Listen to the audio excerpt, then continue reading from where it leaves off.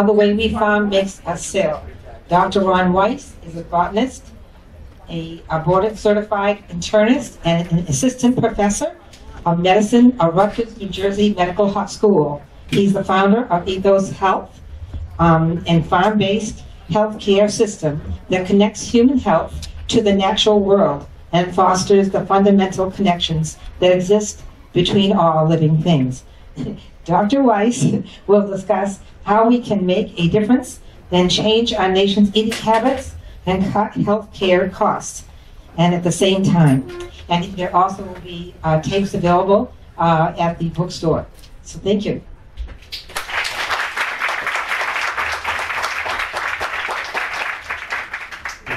So thank you so much, everybody, for coming.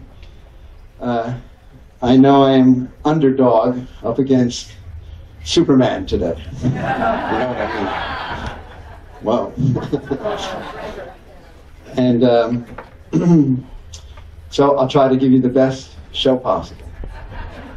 Um, I think the way I'd like to structure the talk today, uh, by the way, we're going until what time?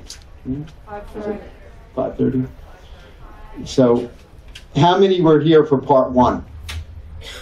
How many were not here for part one?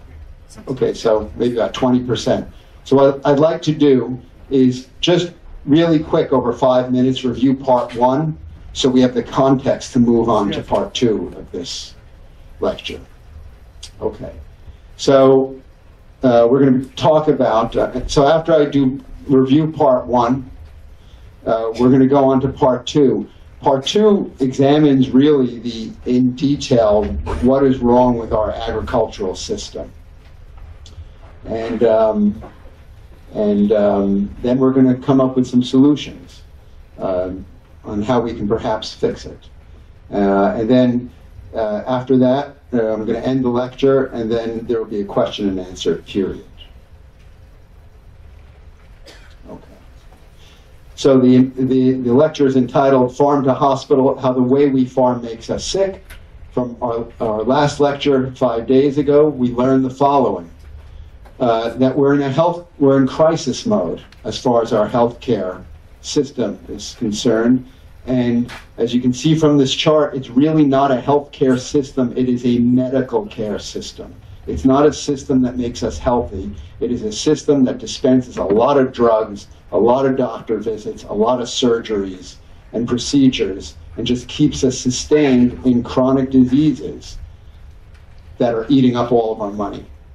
And this uh, expenditure is inexorably rising. It it's continued rising since here, which is, uh, you'll find out is a very important point in time when we get to talking about agriculture.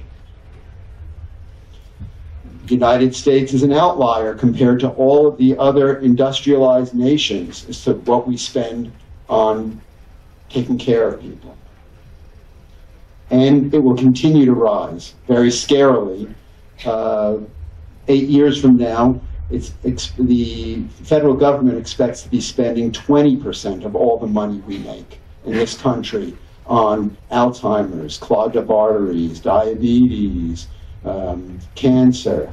It's now 17.5%, of 3.2 trillion. And it will not stop at 20% in eight years from now. And the Affordable Care Act didn't help us. We continue to pay more and more money every year. Uh, not only employers share of um, of uh, what they have to pay for health insurance goes up, but our share as the employee goes up as well. Uh, people will say this is due to a health care, a health insurance problem, that health insurance is broken, people don't have a health insurance. People will say it's because of rising drug costs and pharma, who's completely out of control and charges $400 for a month's worth of medicines. People will say it's because of we don't have any primary care doctors, and there are not enough of them. And this is documented by the American uh, Association of American Medical Colleges. Medical students don't go into the primary areas still, and they're the holders of prevention, right? Primary care. We don't have enough of them. There's going to be a severe shortage. So what I'm telling you is none of this is the reason for our problem. They are true and valid, all the things I gave you, but it's the United States Department of Agriculture which is the primary culprit of our unsustainable medical care system because they dictate the way food is grown in this country, which dictates what we eat in this country, which dictates all of the diseases we have to end up paying for.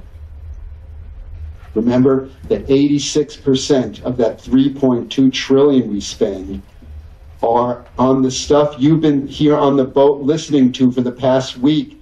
It is re- preventable and reversible, especially in its early phases. Right? We don't have to spend this money. We learned about our friend Joyce, right? Who was the poster child of chronic disease. She had everything and was a nurse practitioner. Life was destroyed within three months of all of a sudden becoming sick, like Job. She these these plagues descended upon her. She was completely disabled on disability. Medicare couldn't work, and within a matter of 30 days, most of her stuff vanished. Within a year, it all vanished. Right? All the diseases she had, all the medication she took, the food that she was eating. This is the sad, right? The standard American diet. And you're going to see in our second part that the stuff that our USDA and the Farm Bill, which is coming up for 2018, pays for with your tax dollars goes straight to make this stuff that Joyce was eating. Doesn't go to grow vegetables. I want to make that clear. Nothing that the USDA's Farm Bill allots for goes for vegetable and fruit and bean and whole grain production. The stuff that you've been eating at the buffets, you've not eaten anything here that's paid for with your tax dollars through the Farm Bill. It's this stuff. So she went on that 30 day detox.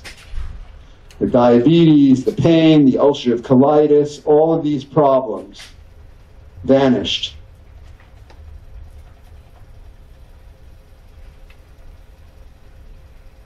Went from 27 medications down to zero, and here she is a year later. There is no drug, there is no combination of drugs that can do this. Plants do this. And we know exercise is very powerful and important, but remember that she climbed to the top of this mountain, not being able to walk up those three steps to the medical office six months later. It wasn't because she went to the gym, it was because she was eating plants. So at the end of the lecture, we started to find out about, uh, started to get into our food system. And it's a system, right? And talked about if you go down any main street in America, this commonly, right? All from all over America. Have you seen this kind of thing on a, uh, we're near you? I know it fills New Jersey. Okay, and then if you say, I want to go to the supermarket, I won't eat out, okay, this is what you find in the supermarket, right? 80% comes from farm bill subsidies. 80%, which you should not be going near if you want to prevent cancer and if you want to prevent heart attacks. The number one and the number two causes of death in this nation. Okay, so now we're on to part two.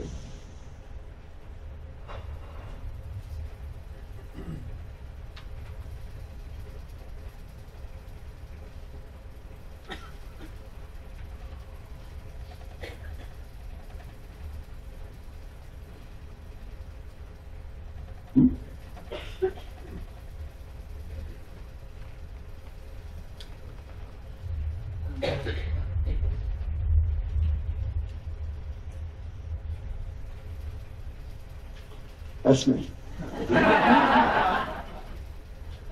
Okay, that's in my happy. Well, mm, yes and no. So why aren't I happy in this picture? It is a farm. Yes, this is what's paid for with with. Uh, let's see.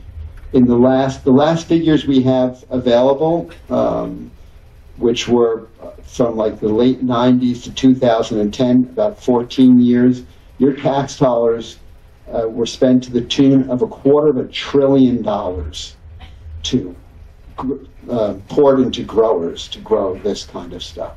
So this looks like corn, right? And you can see I'm 5'11". That corn is much taller than I am. Uh, so it looks like corn, and it is corn. But just to be clear, and this is the corn up close, this corn is called feed corn or field corn. And um, most of the corn we're fam- familiar with is corn on the cob, right, that you eat, or corn niblets.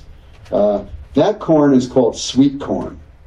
Um, um, and this kind of corn, basically, none of us eat.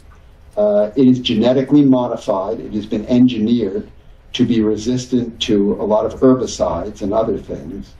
And it is the number one crop that we grow.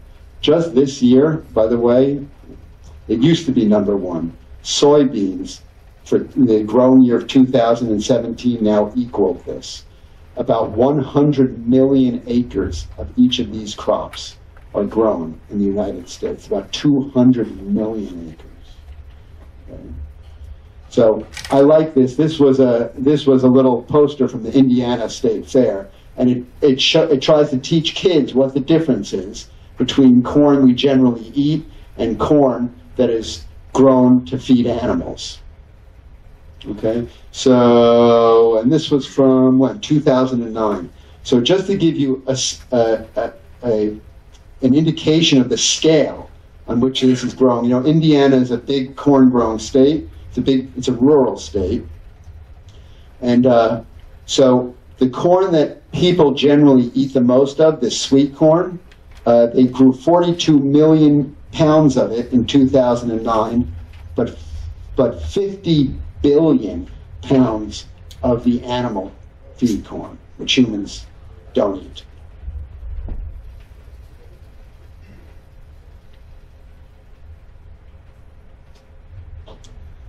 So where does this corn go? So we're going to talk about corn first, and then we're going to go get into the, the details of soybeans. So corn and soy are the basis for feeding animals in the United States. When I was growing up in the 1960s, I remember that very distinctly for my fifth birthday, I wore um, this little red cowboy suit uh, with little white fringes and a little red hat. It was my favorite. There were still cowboys around, right, in the 1960s, in the 50s and 60s, and that's the way meat was raised. It was um, it was uh, cows or cattle were allowed to graze on ranches, and then it took a few years, and then you know they were slaughtered and turned into meat. Uh, that doesn't almost doesn't exist anymore. That world. Um, it is estimated that probably about 98% of all the animal foods that we eat are grown in facilities like this today. 98% of the chicken and the meat and the pork that and the eggs that uh, Americans eat are grown in CAFOs. CAFOs stand for CAFO, Concentrated Animal Feeding Operations. And they're enormous buildings into which animals are cruelly confined and spend basically their entire lives under extremely crowded conditions, uh, which promote disease. So let's take a look at what these animals are fed. So I already told you that um, the basis of the feed that all of these animals are given are corn. That's the number one grain that they're given. Um, And there are other grains that are mixed in, but they make up a small percentage of their uh, feed ration. Uh, sometimes sorghum and millet and other um, other small grains are mixed in, mixed in, but the vast majority are these GMO corn grains, the ones that you saw me holding in the picture. And by the way, this analysis came from the Johns Hopkins School of Public Health. Um, uh, Mayor Bloomberg of New York uh, funded the School of Public Health at Johns Hopkins. And this detailed analysis came from there. So, the number two component is soy meal. Uh, so, about um, perhaps 98% of all of the soybeans, I told you um, a moment ago that soybean production has been rising in the United States, uh, so that now soy equals corn. It, it, it had not equaled corn ever before until this past year, 100 million acres each. So, um, 98% roughly of all the soy that is grown in this country, it is, it is genetically modified and it is not used for human consumption. It is used for uh, these um, industrialized purposes. Um, the 2% that's left over, a lot of it is used for human consumption, and it's also processed into um, also processed into refined soy products, like soy isolate, that is turned into highly processed foods for human consumption. Soybean oil, right, is huge. Uh, we'll talk about that coming up next. But a lot of the soybeans that are grown are squeezed to get the soybean oil, and then the cakes of soy that is left over are fed to the animals. That's why it says oil meals and cakes. They're not necessarily whole soybeans. Next, rendered animal products. So, if you were to construct a four lane highway from New York to Los Angeles uh, and fill it bumper to bumper with tractor trailer trucks, that is the capacity you would need to contain all of the animal byproducts that pour out of these CAFOs. So after they're slaughtered, all of the hair, the bones, the skeletons, the entrails, the skins, the uh, you need that kind of capacity. So that stuff is very valuable stuff to the feed industry. It is taken to rendering facilities and it is boiled down and cooked down and processed to go back into the feed. So, in other words, we have cows eating chickens, and chickens eating cows, and cows eating cows, and pigs eating pigs, and pigs eating chickens. They're um, cannibalistic. Okay? These animals, most of them, are basically herbivores. They should not be eating any animal products. In order to be healthy, their gastrointestinal systems are not designed to eat these things, right? Cows are supposed to be eating grass. They're not even supposed to be eating corn or grain. They're right, they're grazers. Imagine what this does to the health of these animals. Besides them being crowded, eh, eh, enveloped by all the sickness, uh, immobilized by lack of space.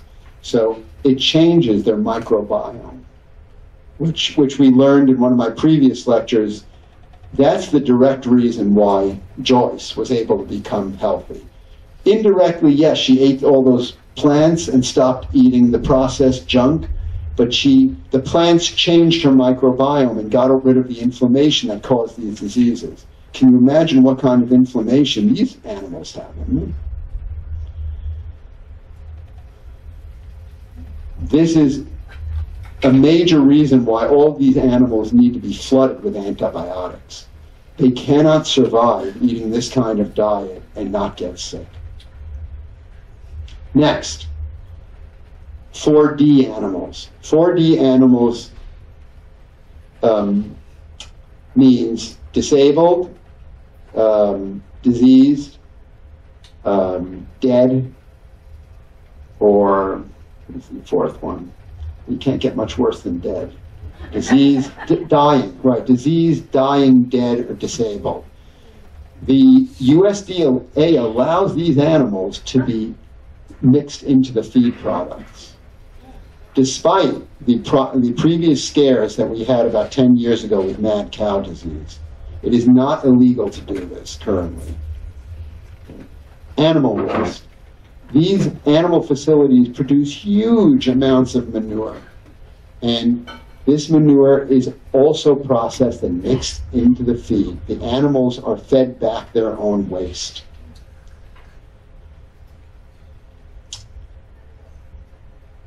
So I'm thinking of why this would be particularly bad in, for the animal and for the eaters of these animals.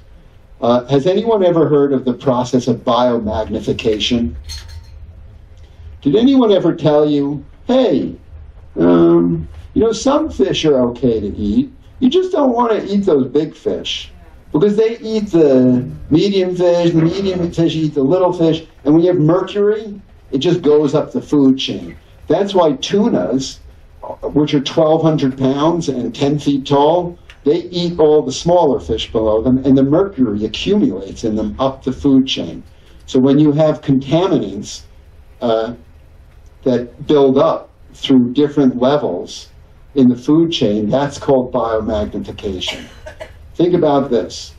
All of the chemicals that are on that corn and that soybean and all the pesticides and every all the contaminants that are in there, these animals keep being fed over and over again, generation over generation, their their waste, okay, which they're pooping out, and their skins and their bones are ground up and fed back to them. So this is why animals, eating animals in general, is uh, a process that allows human beings to be highly contaminated with cadmium, mercury, arsenic, lead, you know, PCBs, dioxins, pesticides, all the stuff that keeps cycling through this system.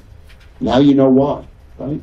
When you eat plants, plants are at the bottom of the food chain, right?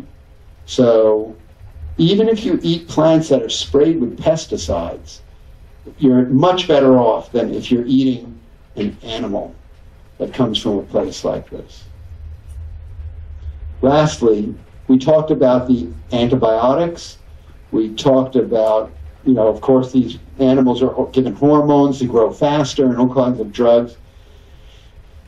This last thing, plastics. There are plastics in meat, and I was shocked to learn out about this.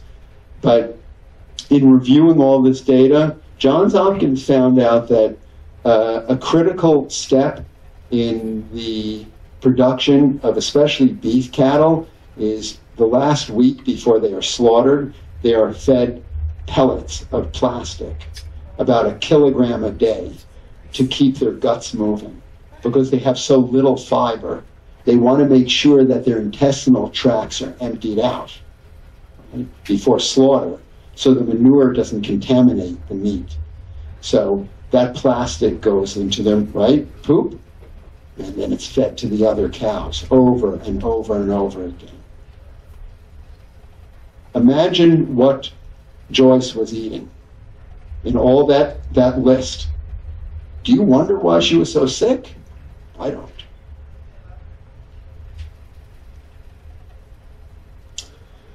So now we're going to talk about soybeans.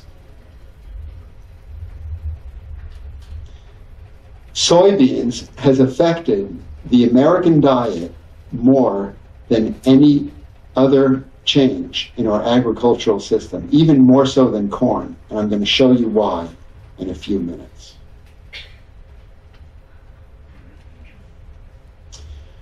So, Gene, can you see this? Mm. Uh, is there any way to make this bigger, the screen? Well, okay, I'll try and describe it to you. So look at this how the diets of Americans have changed since 1970. What happened in 1970 in that first slide? Healthcare costs start going up, right? So look how diets have changed. Um, so the blue line is beef. Look at the drop in beef consumption, tremendous. From, let's see, this was from this goes from 1970 to 2014, so fairly recently. So beef has dropped precipitously. Potatoes also have decreased a lot. Uh, eggs have decreased. Uh, milk down, a full fat ice cream down, margarine has taken a big, big hit. But these are the things that have gone up.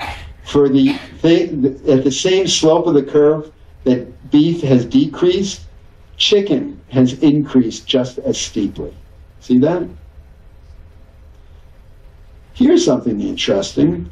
Look what happened to cooking oil. Just since 1970, vast increase.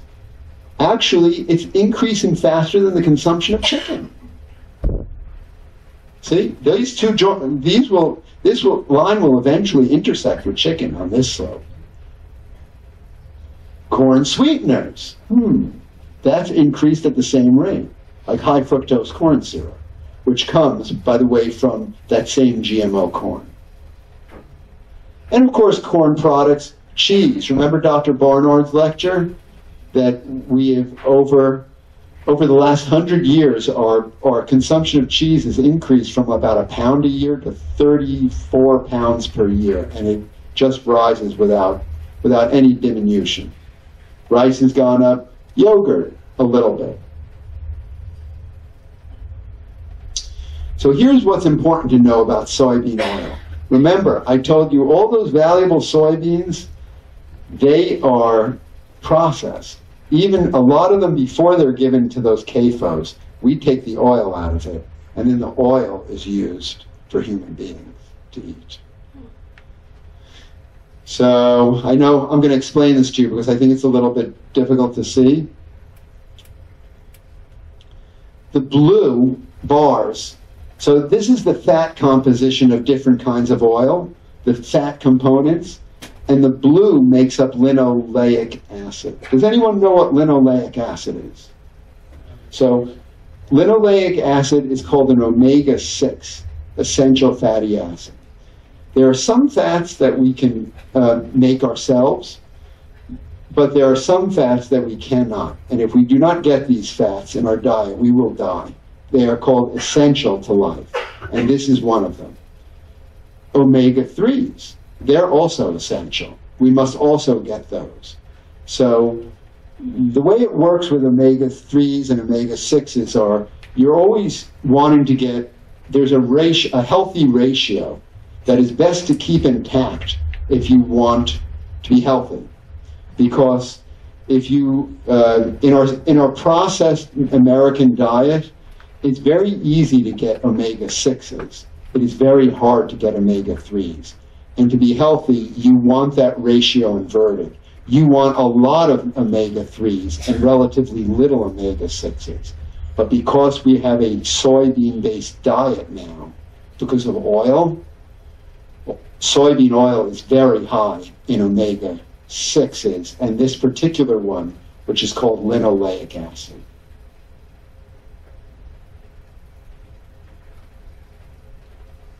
Okay.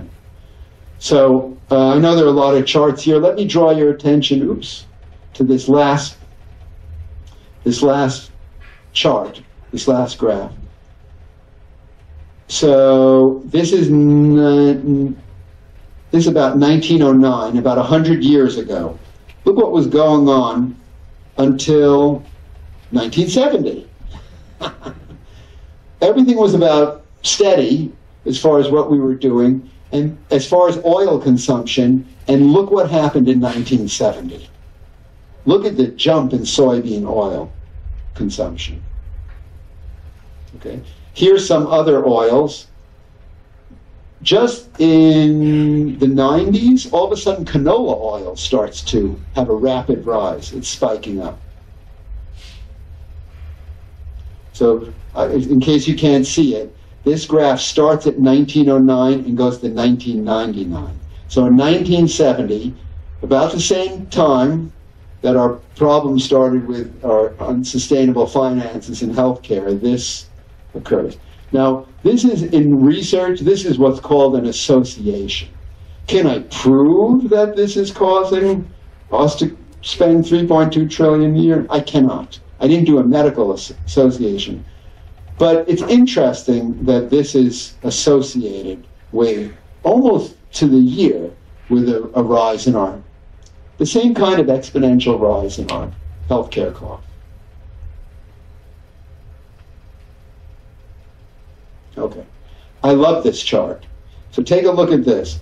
This is the oils that we were consuming a hundred years ago in 1909 versus 1999. In 1909, we were consuming almost no oil, even olive oil, almost nothing. Look at that, point one. And this is, let me see, is it kilos per year? yeah, kilograms right there. 0.1 kilogram per year. Okay? Look what happened. We now, this is 116,000 percent difference, increase in the amount of soybean oil we consume. Even canola, which began to shoot up in the 90s because of canola, the vast tracts of land being committed to canola seed production, that's only 16,000% increase. 116,000. Even olive oil, right, is healthy, right? They tell us, supposedly. Is it healthy? No. No, it's not healthy. It makes you overweight, right? And it makes your arteries dysfunction after you eat it. Even that, we've only seen a 500% difference in consumption in the past 100 years 116,000%. So do you remember? That's why I told you there has not been a change to our diet in the past 100 years that has been as powerful and as demonstrative as the consumption of soybean oil. Does anyone know what an uh, omega-3 index is? I alluded to it before with the ratio of three to six, those essential fatty acids we need. So remember what I said.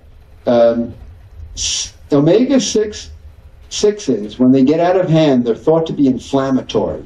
They create a lot of inflammation in our body, which then goes to create inflammatory diseases, the chronic diseases. Omega 3s tend to be anti inflammatory. So you always want in that ratio, it's called an omega 3 index. You want a large numerator of omega 3s and a relatively small denominator of omega 6s.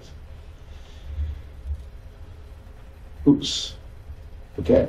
So on this chart, we have the omega 3s index of, of measured in 1909, okay, eating a traditional diet. What does that mean? Well, if you were to eat the regular foods that, that were available in 1909, let's say you were to eat a 1909 chicken in 1909, you know, a cow that was grazing on the on the ranch on the prairie. If you were to eat that, you know, non-modern, non-industrialized animal foods, uh, you would have an omega 3 index of 8.28. Okay. So, there's a lot of evidence now that in order to prevent Alzheimer's and in order to keep your executive functioning, executive cognitive function in half, you need kind of an omega 3 index if you want to do best at preventing these problems about at least six. Fives, five and a half, six. even with the traditional diet 100 years ago, it was eight. Huh, maybe that's why Alzheimer's was unknown at the turn of the century.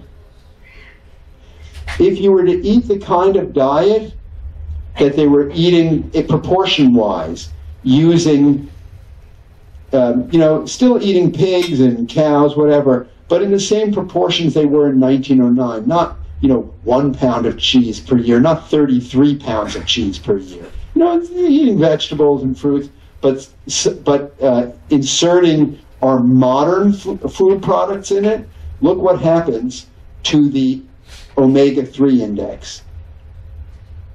Okay? It drops. If you were to eat the regular diet that we eat today, this was in 1999, 3.84 omega 3 index. Hmm, maybe that's why we have increased incidence. Uh, one, of the, in, the, one of the statistical reasons why we would have increased incidence of Alzheimer's disease in this nation.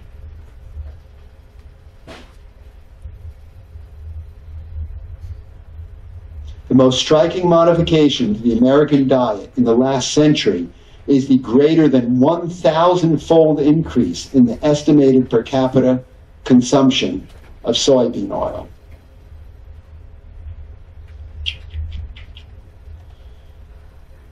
When you go to dinner tonight, tell them no oil. Do you think they're cooking the stuff in the finest olive oil? Mm. Soybean oil is the cheapest oil. It's because we grow 100 million acres of it, and it's really cheap. And it doesn't have a flavor like olive oil. You know, you want to make something, you want to make pancakes on the grill, right? Or you use butter. It's too expensive. We'll use soybean oil. In restaurants, this is the main oil that's used. Canola oil is too expensive. When you go to eat a fried food, if you ate a French fry that was downstairs, or you know, you go to it's it's soybean oil.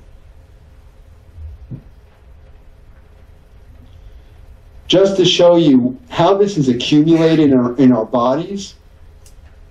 Um, within 50 years, uh, we have measured um, fat tissue biopsies in, in human beings, and we've demonstrated that human fat has um, accumulated so much linoleic acid that compared to human fat samples today versus 50 years ago, there's a 136% increase in linoleic acid deposition in our fat tissue. And a similar increase in linoleic acid has been found in mother's milk. Okay, I'll tell you why that's important in a moment. So, um, about a threefold increase. We've analyzed mother's milk from the 1950s, human milk, versus today's mother's milk. There's a almost triple increase in the amount of linoleic acid that is flowing through mother's milk into infants. This is why it's important. Linoleic acid is now highly suspected of causing weight gain and obesity. Has anyone heard that there's an obesity crisis in the United States?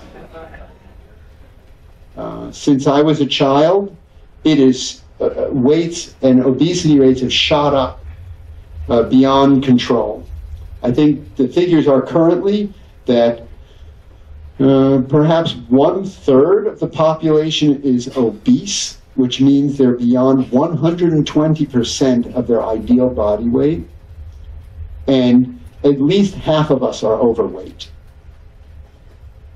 What does this have to do with linoleic acid? Linoleic acid is the parent compound of arachidonic acid. Anyone hear of arachidonic acid? Arachidonic acid is the beginning of the inflammatory pathway. When you take an aspirin, a Motrin, an Advil, an Aleve, let's say you have arthritic pain, uh, and you're taking it for osteoarthritis or your knee bothers you, the reason why it works is it aborts or, or uh, intercepts the arachidonic acid pathway and it stops it from creating inflammation. That's how aspirin and those associated compounds work. So the more linolenic acid you take in, the, more it will be difficult for this process to be interrupted, the more inflammation you will have.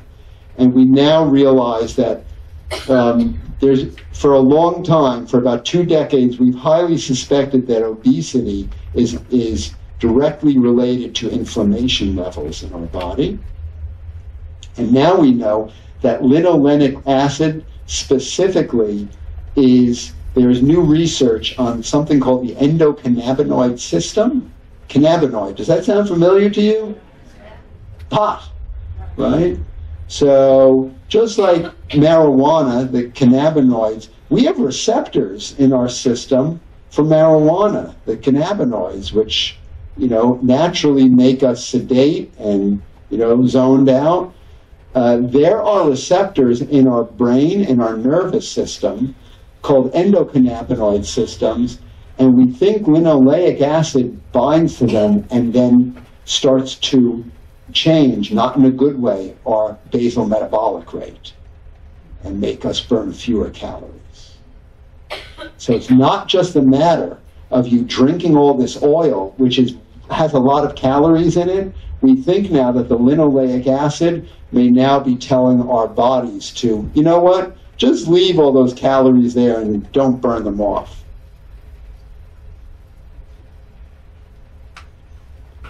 Okay.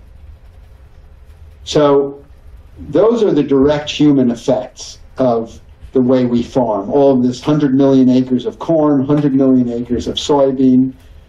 Mm.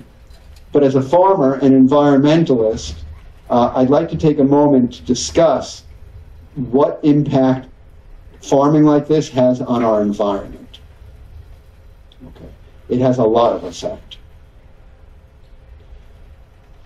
The dead zone in the Gulf of Mexico. You have to remember that the vast majority of this output comes from the center of our country, right? Because that's where all the corn and soybean is grow- grown. And it, it's basically pretty much grown in any state that has some water in it. You know, it's not probably grown in very dry states. But corn and soybean is definitely grown in New Jersey.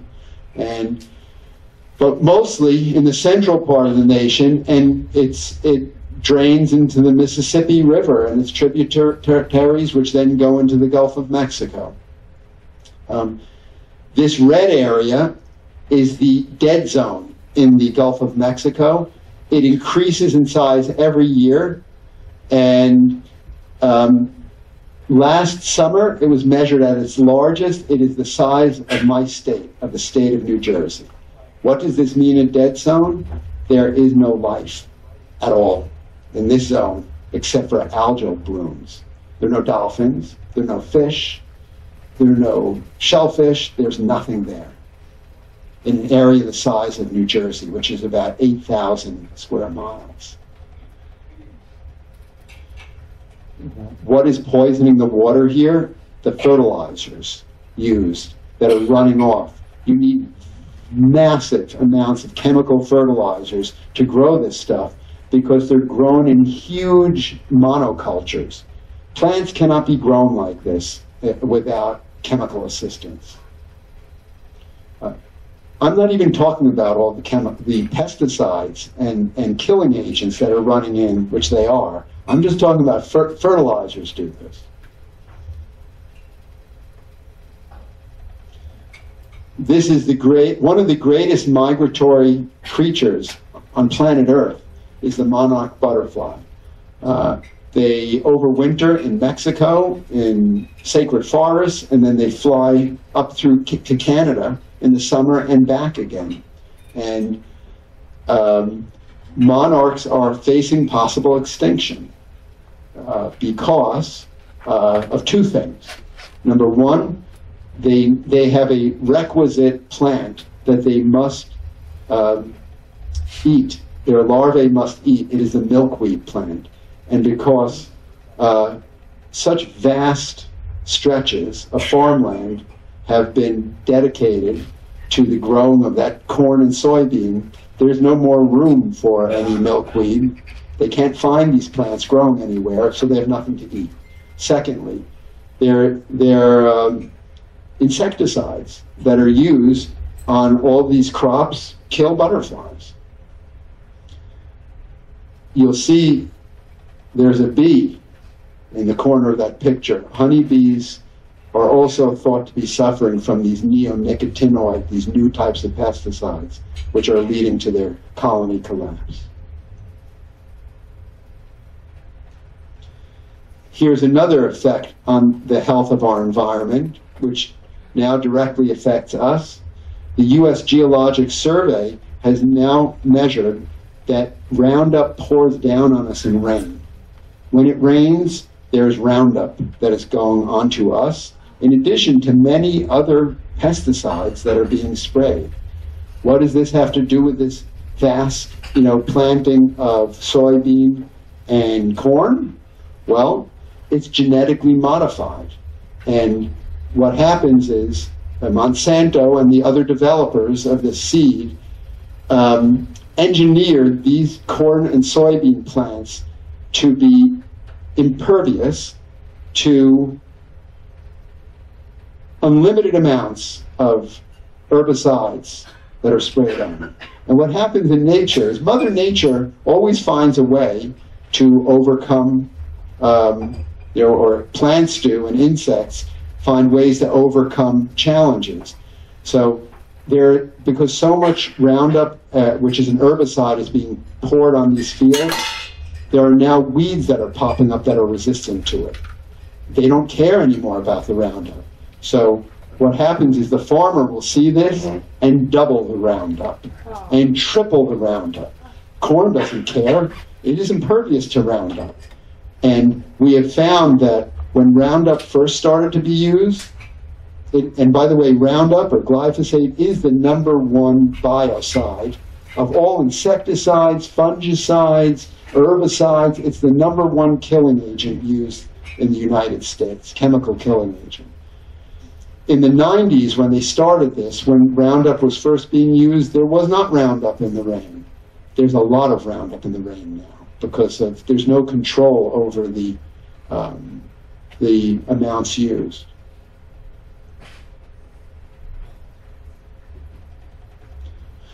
Is anyone familiar with the concept of epigenetics? So, let me just explain that for a moment. Watson and Crick uh, first described DNA in the 1950s, and they won a Nobel Prize for it. It uh, what they said was the instruction manual for how we are built is contained in each of our cells through these two little microscopic, electron microscopic strands. And you inherit one set from your mother and one set from your father. And they determine if your eyes are blue or your eyes are brown or if you're tall or if you're short. They determine who you are. Um, and we thought that's really that was really the primary determinant of who we were, how we were born, and what would happen to us. You know, I was taught in medical school that oh, if your grandfather died of a heart attack when he was 50 and your uncle had a heart attack when he was 50, it's because you have bad genes. Is that correct? It is not correct, right? So, but they still teach it in medical school. You know that it's not correct. So I'm going to teach you something else that's not correct. Genes, the ones that are um, were first discovered and in, DNA and explained by Watson and Crick, are probably not the most powerful determinant of who you are and what you will become. It's not genes, it's epigenes. It's molecules that go on top of your genes and attach to them and straitjacket them. Was anyone here for the breast cancer talk? Okay. Yeah. Do you remember what we said? How genistein works in soybeans? It goes to your BRCA gene, the defender gene that crushes breast cancer cells, cells and rips off environmental contaminants like fungicides that are locked onto your BRCA genes and preventing you from fighting breast cancer. We now know that a lot of pesticides and fungicides go and attach to us epigenetically and then make control in not a good way our genes to not operate the way they're supposed to. And then we have found out that in our children and our grandchildren and our great grandchildren in subsequent um, generations, these molecules ride down through these generations. When we procreate and reproduce, we not only pass down our genes, we pass down the contaminants that are on top of the genes through the sperm and the ova, and then they cause a mutation in our children, like ADD or like autism, is now highly suspected of, of, of being linked to all of these vast amounts of pesticides and biocides that are in the environment, and diabetes, and obesity, and cancer. Does this sound familiar to you?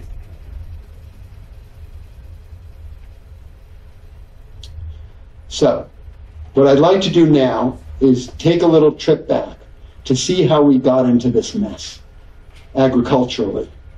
Right? It wasn't always like this. About a hundred years ago, about the turn of the 20th century, farmers really didn't use chemicals. The first chemicals that came into being were things like lead arsenic.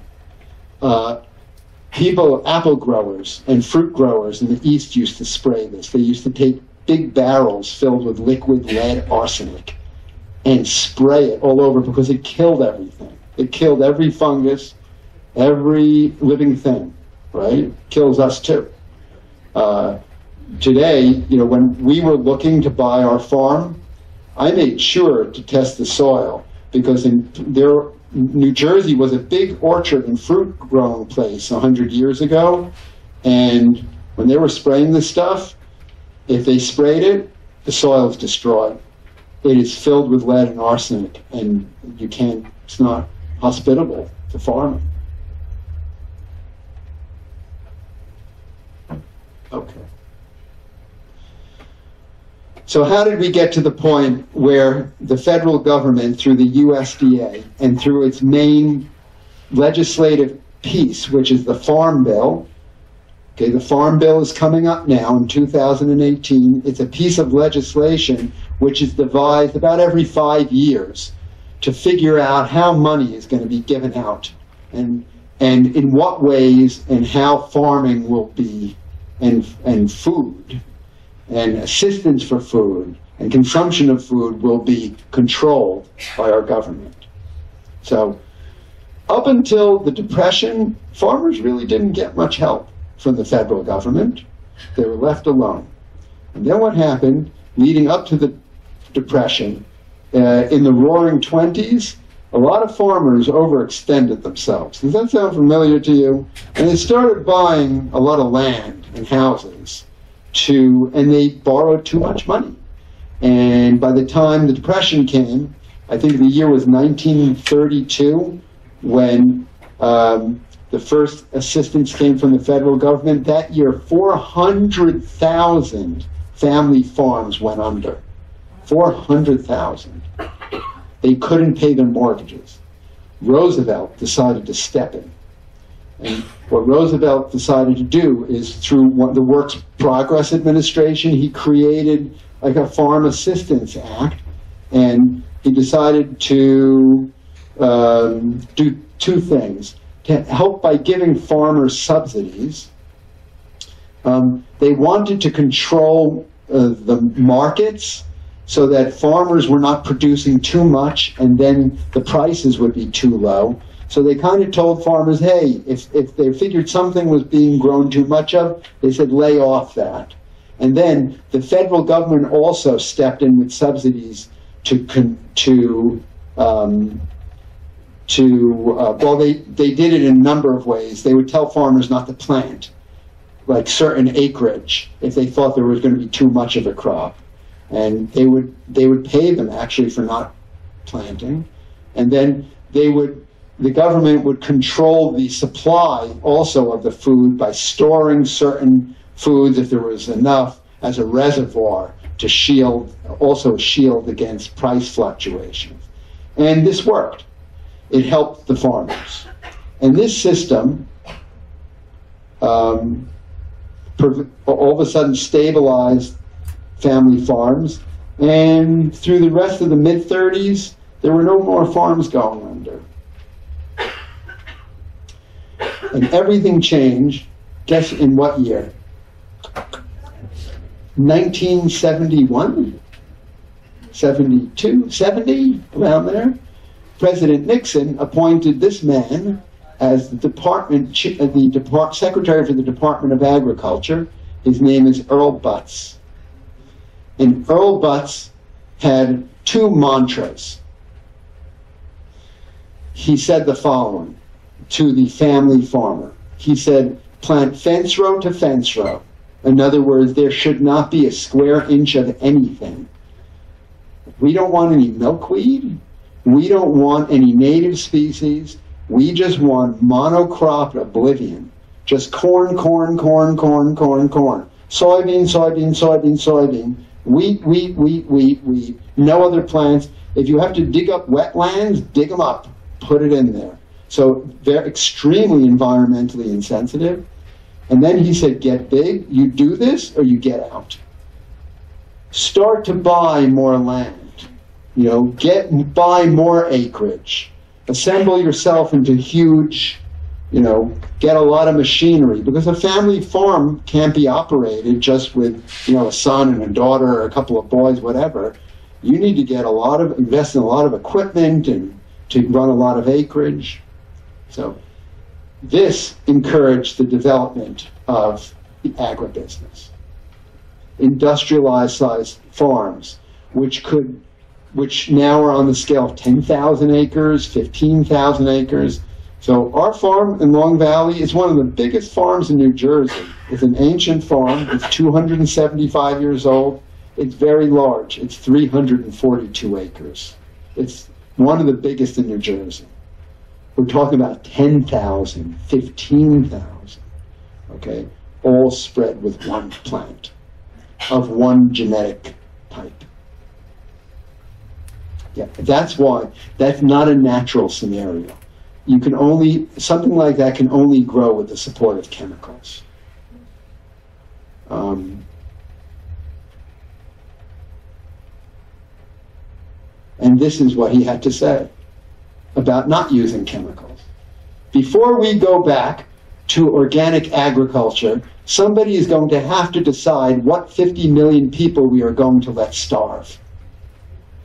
Earl Butz said that. So he was a proponent of all these chemicals that are now raining down on us.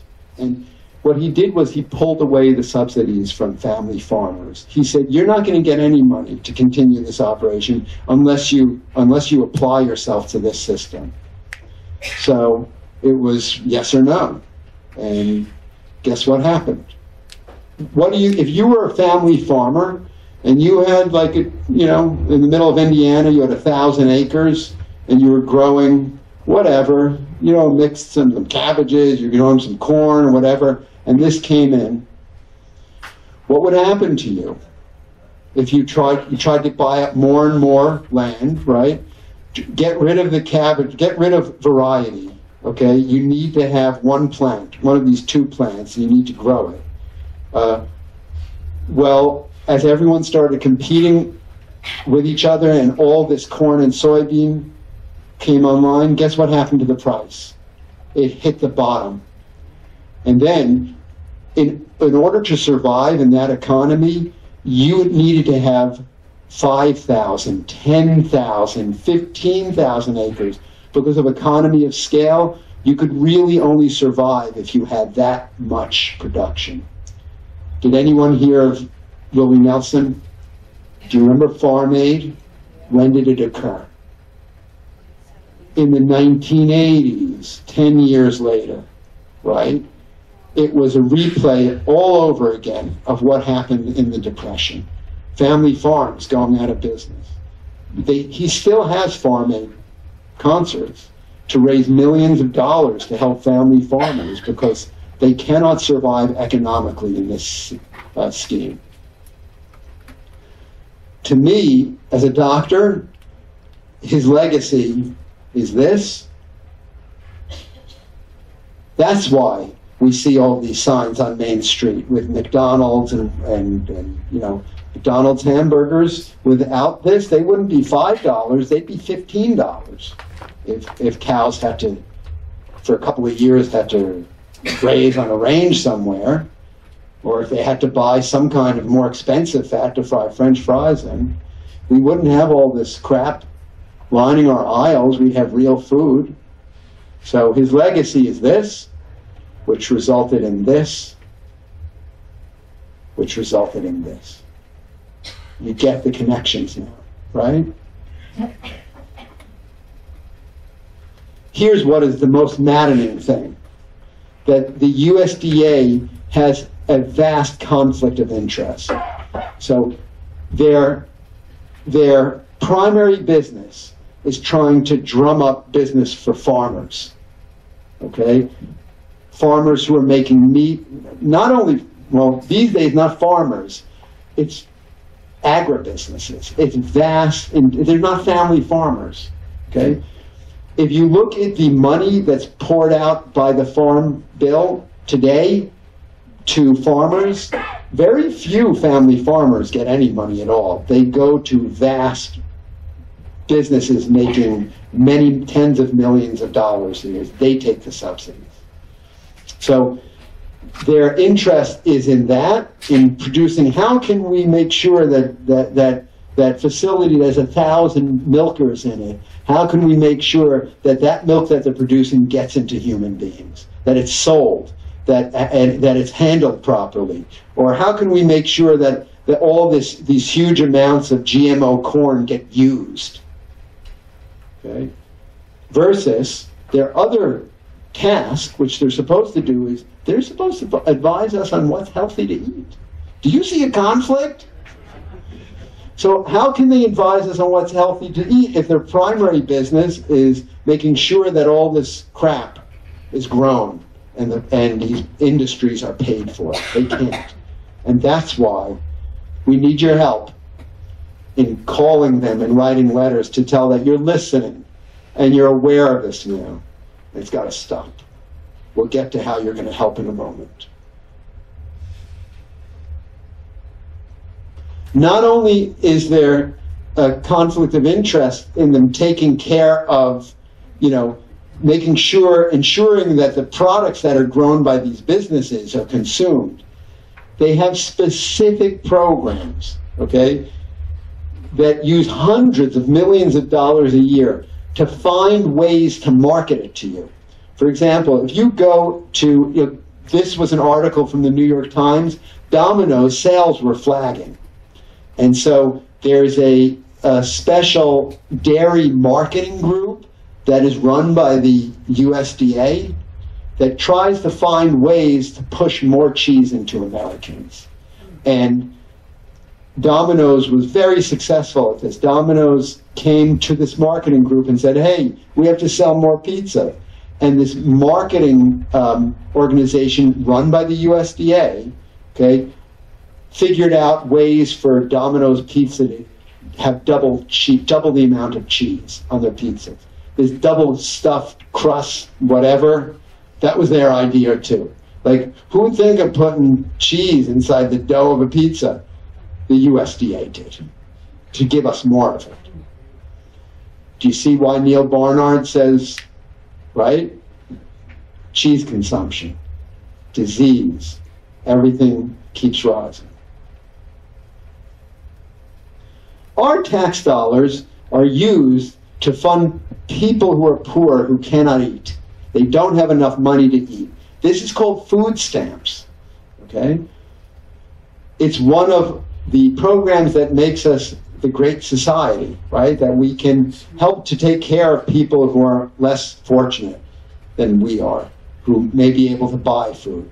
But the USDA, through the Farm Bill legislation, has determined that they will pay for soda with high fructose corn syrup, cheese, cake, candies. You can use your, your they're called SNAP dollars today, not food stamps, to buy all of this stuff. And con- uh, concordantly, we see that, of course, poor people have a lot of diseases. They have more than their fair share of these chronic diseases. Is there any wonder why? Last June, I was fortunate enough uh, to have the honor of being invited by Neal Barnard to go to the AMA's national convention in Chicago. And with the help of Neal Barnard, about 20 of us doctors stood up and demanded that the AMA state in a platform, as one of the planks of their platform policies, that the USDA, through the Farm Bill, should not fund junk food. They should fund real food for people to eat. Of course, we could not say don't fund meat and chicken. Fish could not say that because we would have been closed down. We just said, please not soda and things that are, you know, highly processed.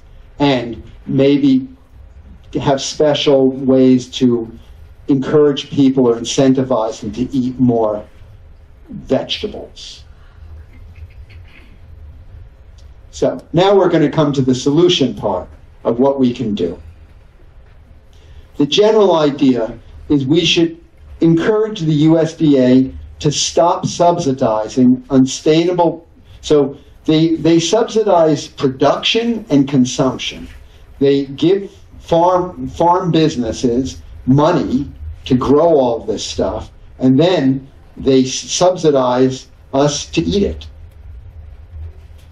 We need to stop that. And we should start subsidizing uh, sustainable production and, and consumption of healthy food. The first thing is we should eliminate these subsidies. We need to go back to the way it was before the Great Depression. Okay? Mm. Plant eaters, the kinds of the kinds of foods that people have been eating today on the ship, the vegetables, the whole grains, the legumes, the mushrooms, the seeds and nuts, those kinds of things. The growers of these in the United States, they get no subsidies from the United. Did you know that? None.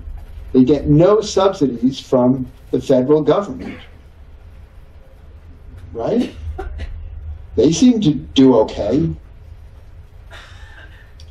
Let's eliminate subsidies for those items. They're just going to create cheap meat and chicken and all those other things and contaminate our environment. We should redesign the SNAP and school lunch programs. So that step of going to Chicago last year and and and demanding that the AMA, which Congress listens to, sometimes because it's the main health doctors' health organization in the United States, getting the AMA to say, hey, in our medical opinion, it's not good. You should try not to feed people and buy their soda and candies for them. Okay? And by the way, for the school lunch programs, all the warehouses of excess cheese that the government tries to buy up to stabilize the price of milk ends up in our schools, fattening up our children. And lastly, we should incentivize the American public to eat more whole plant foods. This is the thing I'm most excited about. So let me explain this specific program to you. Um, as far as production of better food, you know, th- that's uh, uh, there are many um, there are many minefields. The farm bill is extremely complicated. It's a lot of money, and there are many vested interests battling to get this money. And I think that rather than trying to give money to people to grow more vegetables and good healthy foods, we should just give money to people to eat the foods. And if we do that, there will be more of a demand, and then more of this stuff will be grown, right? So there is a nationwide program that was extremely successful. It was run in South Africa. Guess who ran it? A health insurance company ran it. It wasn't the federal government of South Africa. And in this program, this large health insurer uh, gave a, a roughly a $500 a month benefit to per family to buy vegetables and fruits. Hundreds of thousands of people took advantage of it. It significantly increased the amounts of these healthy foods eaten and had a positive impact on health parameters. Why don't we take some of that subsidy money, pull it out from the corn and soybean producers, and give it to us guys to eat more plants? Right? Wouldn't you like that? For free.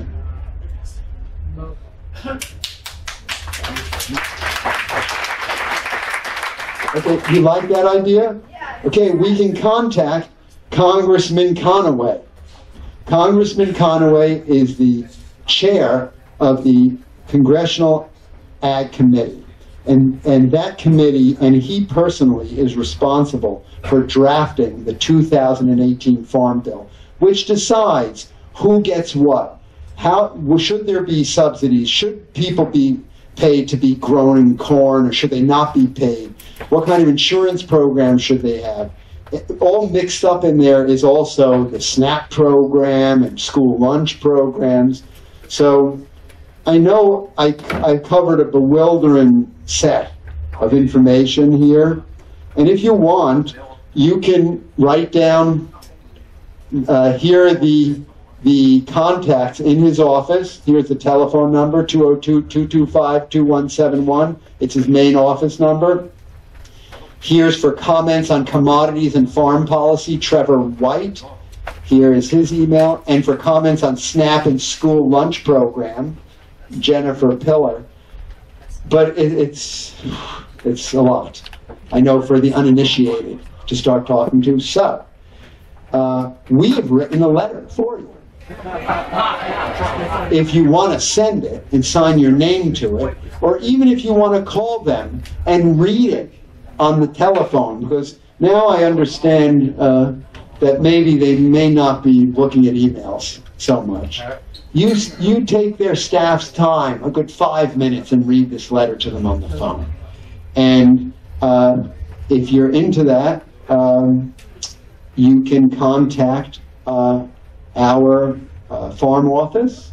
Uh, the address is info at myethoshealth.com and tell Gail, G-A-I-L, that you want to you want us to send a copy of this letter to you. One more time. Info at myethoshealth.com.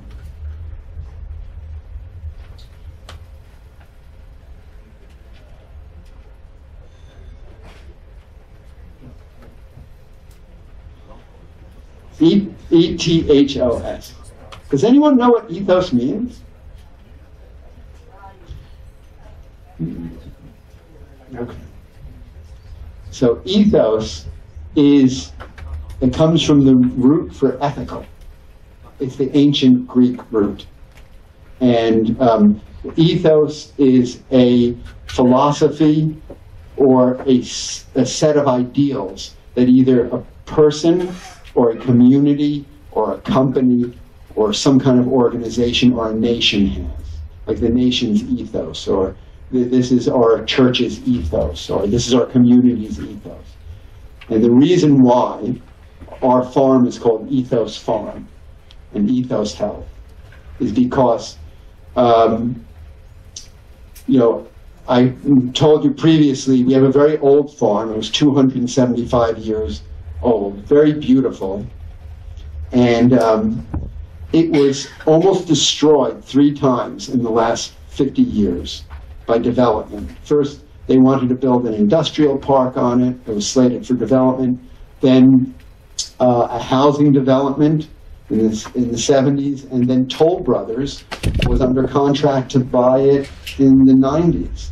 And finally, uh, the town of Long Valley, the townspeople, and they don't have a lot of money, but they spend $12 million to just buy the development rights of our farm without any hope, without any knowledge that they were ever going to get their money back. Um, and they don't have a lot of money there. And when the state of New Jersey and the county of Morris saw this, the next year they came and they gave them the money back. The $12 million of their tax base. That's why we named it DFAS. So, if you remember, we talked about in the beginning how we really don't have a healthcare system. It is a medical care system. Imagine if we could cut out 86% of that 3.2 trillion dollars. That's trillion that's trillions of dollars every year. Can you imagine what kind of free real health care we could get for ourselves? How about sending kids to college for free too? And doing other things that are that would build us into a great society. This is a wonderful idea that Bernie Sanders had, that we should all have this universal health care. But he doesn't understand. It's not health care. Medicare is medical care for all. We need to change the system into a health care system, and we do it by changing the foods that we grow. Let's get going.